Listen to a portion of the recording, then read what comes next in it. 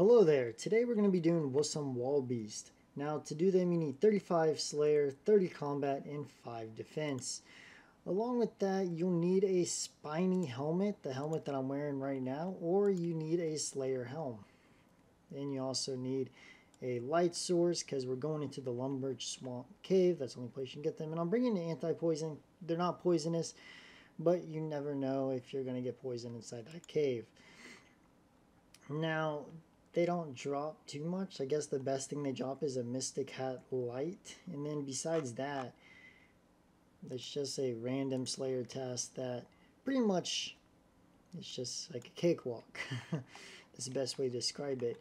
Um, so again, we're going to be going into the Lumbridge Swamp over here. A light source is needed once you go down there.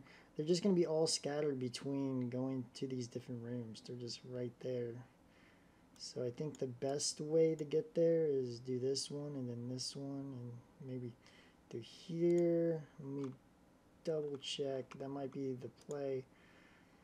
Yeah, that's that looks like that might be the play, doing this one and then this one. So we're going to be on this way, fighting the wall beast there, there, there. So maybe only fight two. We don't really need to, but it's just a way to do it. So hope you enjoy and see you in a little bit.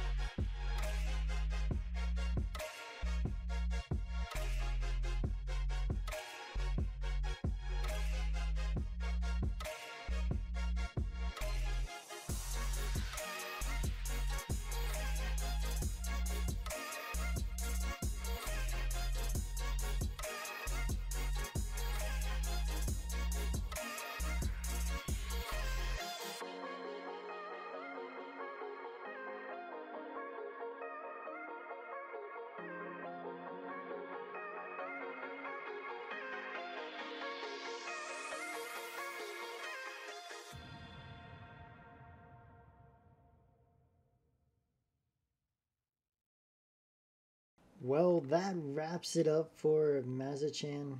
And next is Vannaka.